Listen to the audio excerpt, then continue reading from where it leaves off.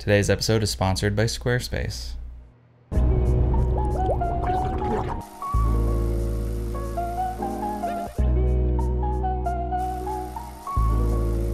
Alright, so yeah, Caleb and I went out to the desert again to take photos, which is basically the setup for every video I make nowadays. Much to your surprise, I'm sure, Caleb found a gold mine of abandonment. Not a literal gold mine, but actually an entire neighborhood that's been left to mother nature. And yeah, crackheads apparently. It was an old Air Force base that was vacated around 1994 as best we could tell, but it definitely had the look of a suburban neighborhood.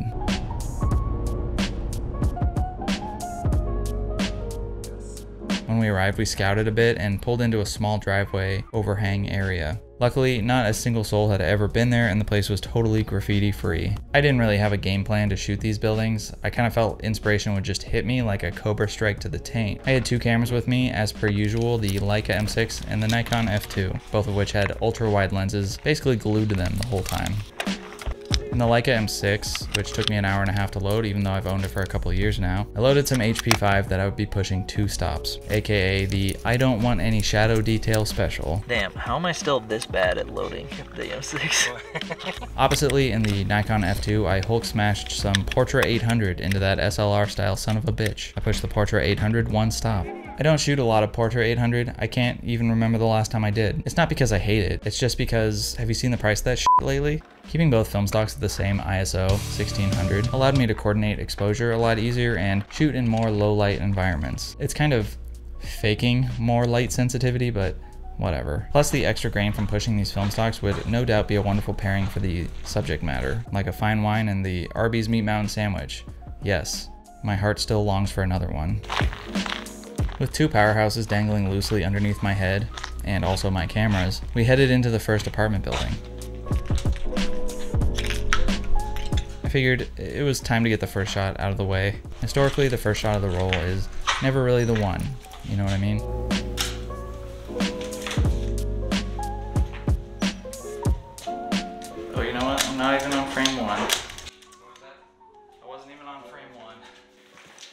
What's funny is that there's always some sort of pre-jitteriness when you enter buildings like this. It's kind of hard to escape that primal instinct that's telling you that maybe you shouldn't be there. But once things kind of settle down a bit and no one attacks you by brandishing a machete and charging you, you start to get a little bit more in the zone, auto zone. I soon realized that a lot of these apartment buildings are the exact same layout and finding compositions that weren't alike would be a bit of a challenge. A lot of these places are just the same. Yeah, I can kind of see that.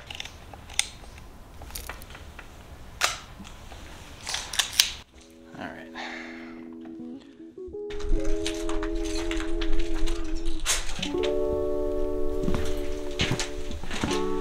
So a lot of these places are basically the exact same layout, so there's only so much you can do compositionally. Each living block is kind of angled differently towards the sun, so that kind of gives you different lighting options. I might try going upstairs and seeing what's up there, but I don't know if I trust these stairs.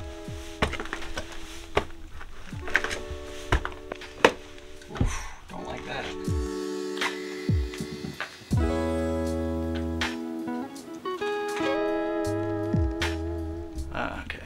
It's just a bunch of empty rooms up here, really. Yeah, I don't know if I trust this floor, to be honest. it's pretty cool up here, but there's not a lot up here that wasn't down there. In fact, I'd say downstairs is probably more interesting.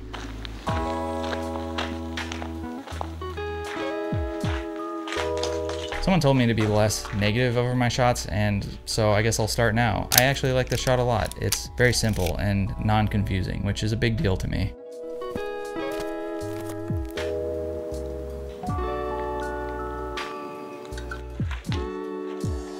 At this point, Caleb and I split up. Not like romantically, but we just went down different paths so that all of our shots wouldn't be loose copies of one another. There is so much here. Uh, there's no way we're gonna be able to cover it all today.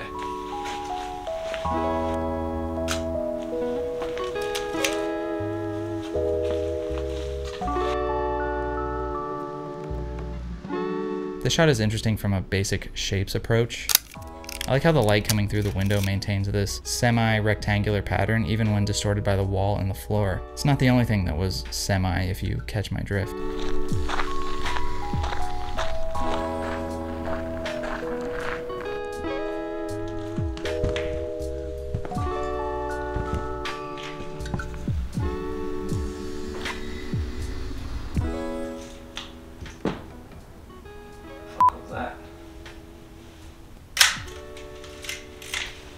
These Portra 800 shots were very orange and yellow. Yeah, I'm not sure if that's just because the setting we were in was basically that color anyway, or if it was just a color cast as a result of pushing the film. I don't normally shoot color negative when we go explore abandoned stuff like this. A lot of times the original colors of places like this are kind of faded and ugly. It's a lot of dust and beige, and I don't really think that always works for color.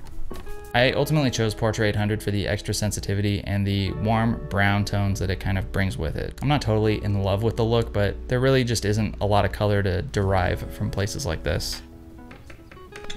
Anyway, a bunch of these shared walls had been body slammed through, like the Kool-Aid Man just had a field day at this place or something. So it was pretty easy to scout different buildings quite quickly. Yeah, there's a lot of noises coming from upstairs, so not gonna hang out. Fleeing what was probably the bird orgy of the century upstairs, I moved on down the road to some buildings that had a different layout and fake Soviet propaganda for some reason.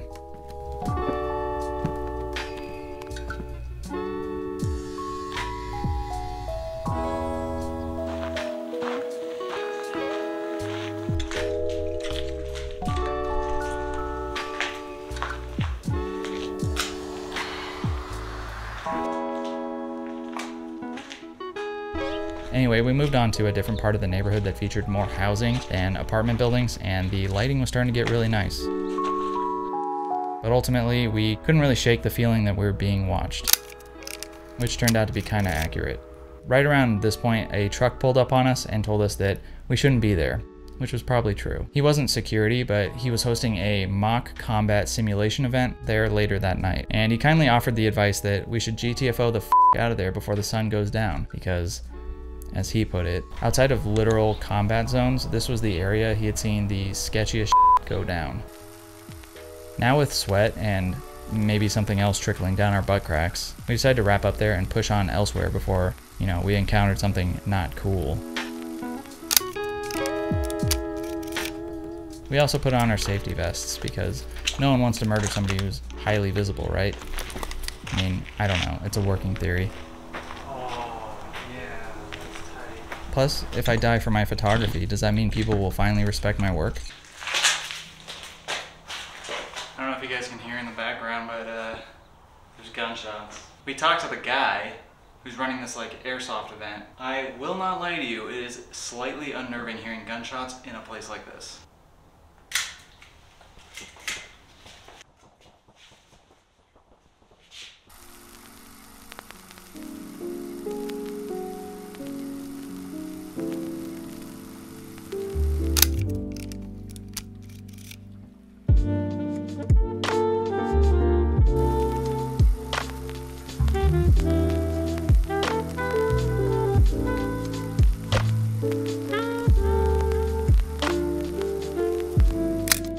Photo is good, maybe one of the best from the day. The colors are nice and warm and the lighting makes the photo interesting at the very least. This was also a good photo. The faded black and white look makes it look like a Polaroid a little bit, or at least our ideal version of what we think a black and white Polaroid should look like, because reality is a little different. Those gunshots sure do put you at ease, huh?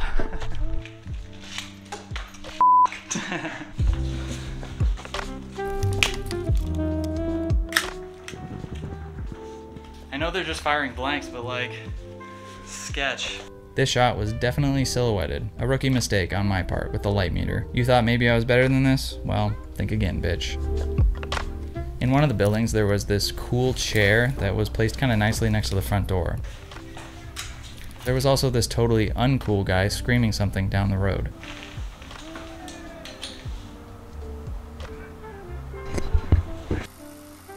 So we left in kind of a hurry. This is why we have a forerunner. We? I mean, this is my forerunner. And moved on to a movie theater that looks like it had seen better days. Pretty cool, right? An abandoned movie theater. How often do you come across one of those? It was pretty dark in there, like advanced darkness. And we didn't really want to die, so we said, uh, girl, bye, and explored elsewhere. I want to go in there so bad. I am not doing that though. Can't blame you, big dog. Thank you.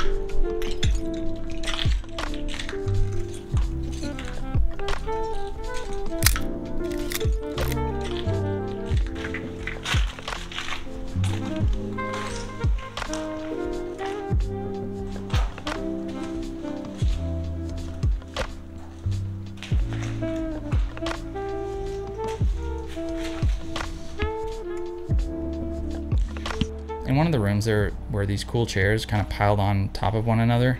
But I guess I forgot I was shooting with the 12 and the final photo makes it look like they're a mile away. So that's no good.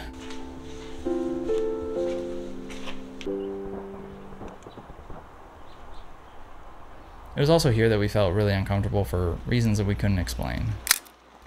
You know that reptilian feeling you get like you're exposed, being watched, and shouldn't continue onward? Yeah, it was that times three. Regardless, we snapped a few photos before security came by and told us to leave before it sees us. I asked him what he meant by it, but he just sped off quickly. Anyway, we called it a wrap after that spot and headed to our accommodations for the night.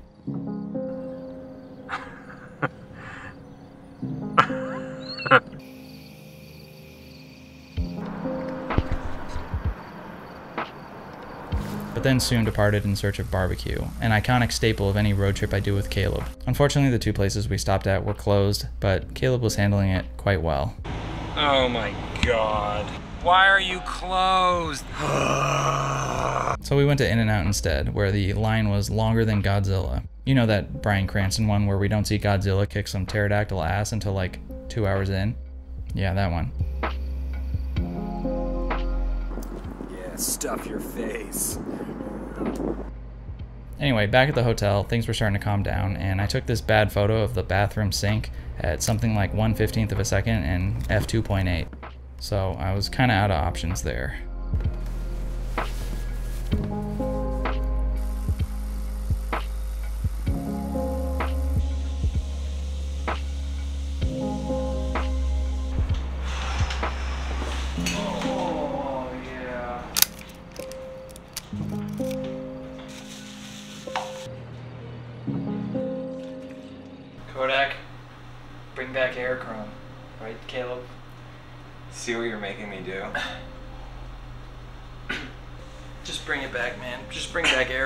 Please.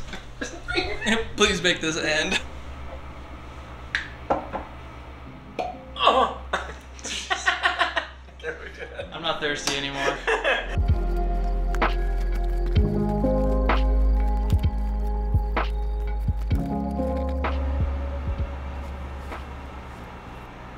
The next day was definitely brighter and louder than usual for some reason. That didn't really matter to us. We decided to check out this abandoned hospital that is supposedly haunted if you believe internet lore.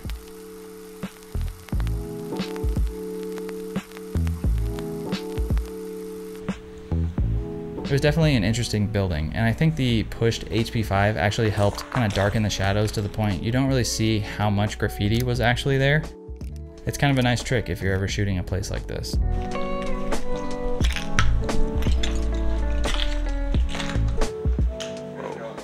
That is a dark hallway. I am not going down there. It was here that I made probably the biggest revelation of my film photography career yet. I'm hungover. I just noticed that I take a different approach than usual when I'm photographing abandoned buildings or interiors in general. In my head, I think I just see it more as shooting the space rather than the subject. This is a 12. This is so wide. The setting itself is interesting on its own, so if I can capture it effectively, I've already got a half decent shot on my hands. I mean, you can see it that way, or you can see it as a cop out to not have to try as hard to get a good shot. But regardless, overall, I'm pretty happy with a lot of these.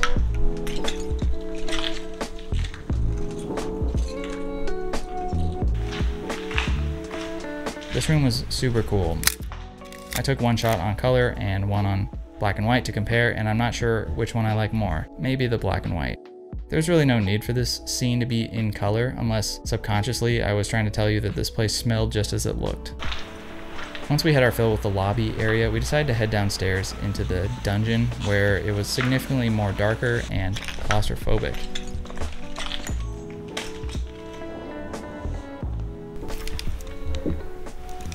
Despite the demon noises coming from the underbelly of this thing, we pushed on.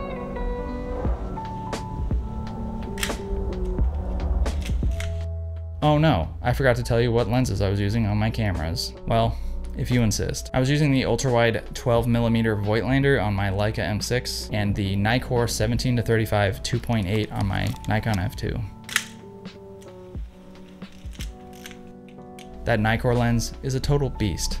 It has a tiny bit of fisheye distortion at shorter focal lengths, but the glow that it produces around hotspots is like having a free glimmerglass filter.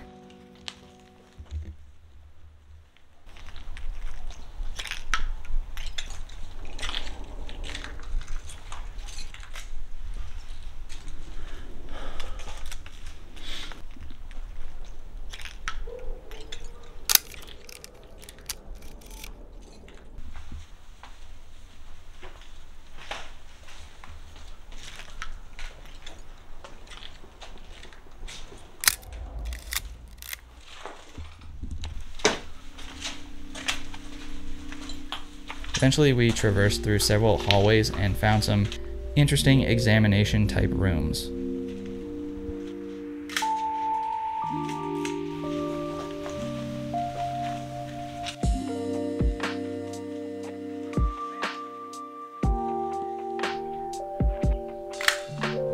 I think this photo is the best case scenario for color film in a place like this. The subject and setting is quite interesting and the light from the windows has a really cool glowy look.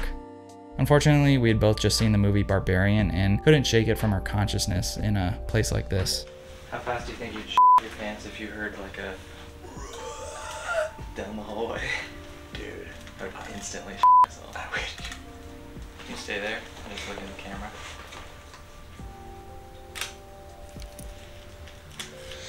This photo of Caleb is awesome. I don't take a lot of portraits because my boy Eduardo Hopper didn't paint a lot of portraits, and I just try to copy his every move. Regardless, I think I might throw this in my portfolio. It's just a perfect combination of Caleb and the thing he loves the most abandoned, trashed buildings. Do we dare? Nope.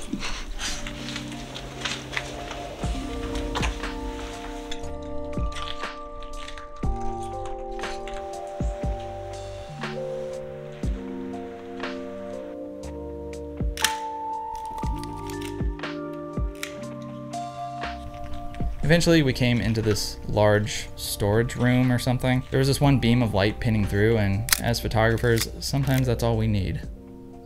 Anyway, after unlocking a new player in Film Photography Loser the video game, I took this shot of Caleb, and it's kind of hard to make out that he's even there. Sometimes I forget how wide or die the 12mm is.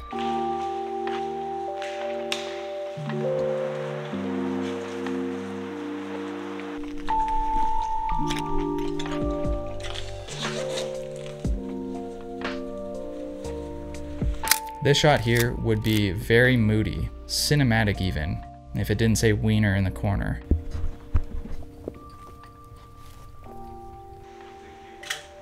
It was super cute, yeah.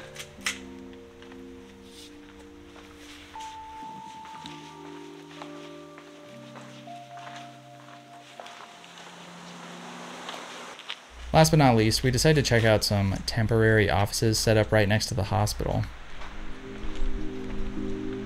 There's a lot of good stuff here, so we definitely took our time.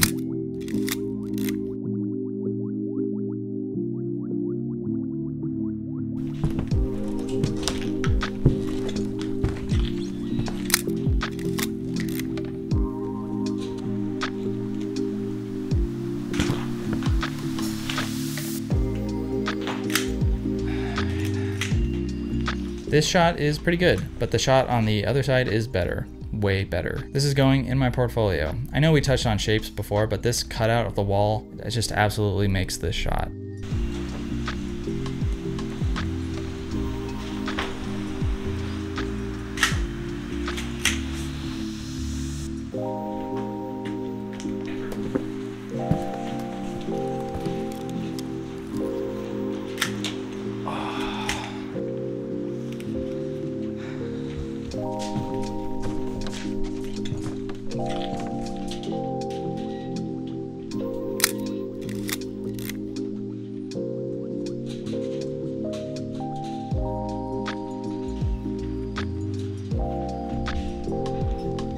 This was a totally cool location, and a lot of the rooms definitely gave you the back room vibe.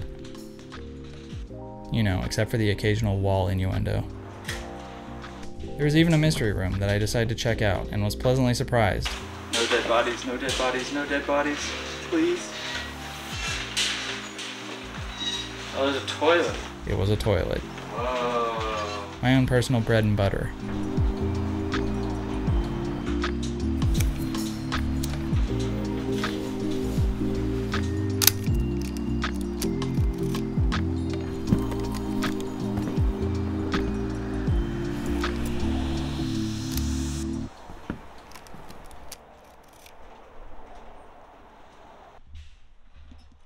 Anyway, that was that. I finished both rolls just in time to head out. But before we head out of this video, I'd like to quickly thank today's sponsor, Squarespace. Squarespace is an all-in-one website building platform that allows you to custom build your own website to the fullest capacity of your own creativity. With hundreds of professionally designed templates at your disposal, getting started with a good foundation is easy. Utilizing Squarespace's intuitive user interface, you can simply add or subtract modules to design your own custom look that suits your creative vision. For this reason, I've personally been using Squarespace for several years to host my own online photography portfolio. The ease of customization allows me to try new arrangements and layouts for my work in a smooth and quick fashion. In fact, I was able to renovate my entire website in under two hours a couple of weeks ago. Plus, if you have questions or need help building your site, you can contact Squarespace's award-winning 24-7 customer support portal. So what are you waiting for? If you're ready to build a website, you can start a free trial today at squarespace.com slash grainydays. If you use the code grainydays at checkout, you can get 10% off your first purchase. This was a super cool location, but definitely sketchy at times. I mean, all the best ones are, for sure. If you're not fearing for your life, how do you expect to push yourself to become a better photographer? Speaking of pushing, I might consider pushing Portra 800 one stop again in the future. It's not bad. Overall, I don't think that this was a location that really needed to be shot in color, but whatever. I got a lot of shots that I'm pretty happy with. Wonder if this mentality of shooting space over subject is gonna be my approach to shooting interiors going forward. I think that the setting can be a lot more interesting than the subject a lot of times, but looking back to when I shot this, I was kind of just going with my gut and only made that revelation later on. Whatever. Hopefully you enjoyed this. Another directionless episode about a cool location. I actually really like doing these one-offs, but maybe you hate it. I don't know.